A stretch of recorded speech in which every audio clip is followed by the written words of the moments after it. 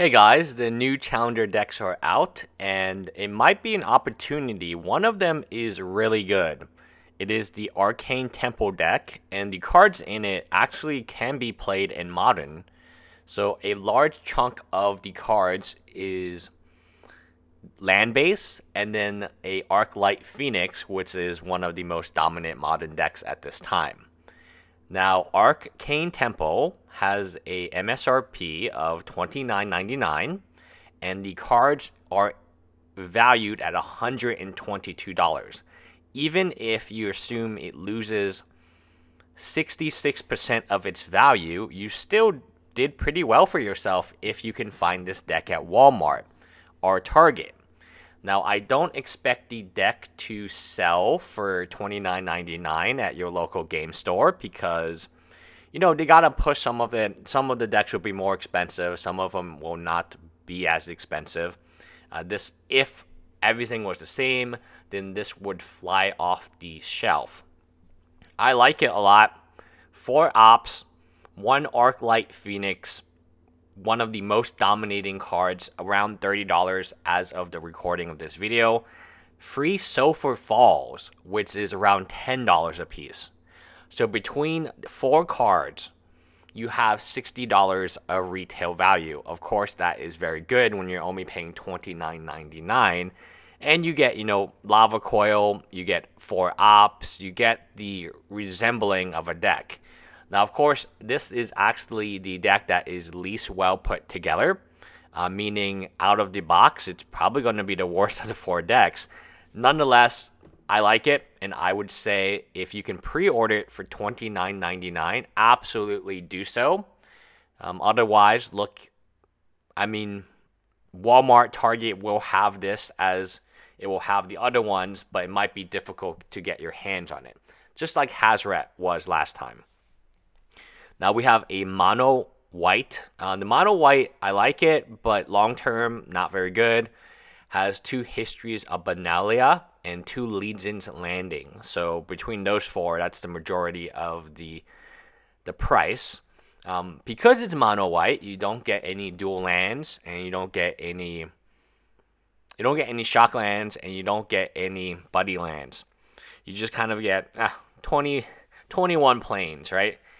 Out of the box, this is pretty close. Um, maybe you just need two of them, and the reason is obviously you want four Legion's Landings and four History of Benalia. Um, I also think the sideboard on a lot of these makes sense to me. Um, this is around 60. So you have one at 120. The rest of them are around 60, 70. This is another one straight out of the box that is very good. Um, in this case, the most important card, Goblin Chain, is a four of. I like it. Uh, it's easy to play, easy to understand. You have four lava runners, steamkins, and you just mono red. Uh, four li- wizard lightning, also a very very good card. So overall, I would say that when you look at the deck as a whole, um, this one maybe you go for lava coil, maybe not. Maybe you take a Banefire, but it, it's the most ready to play. So if you only had thirty dollars, um, and it actually will be a cheap cheapest one. I think either this one or the mono white will be a lot cheaper than the other two. And in terms of waiting game, the waiting game is going to favor the ones with the land in them because land is always valuable. Talking about land, this one has one Vraska, four cast down, which is pretty good. I do like cast down a lot. One overgrown, and two woodland cemeteries. So you got two of the buddy lands and one shock land. So land base is about the same uh, in terms of that you you have instead of a buddy land you have a shock land, which right now is about the same value. In the future, I think shock lands will be more expensive than buddy lands, but when they're together, obviously the older one is a little bit more expensive.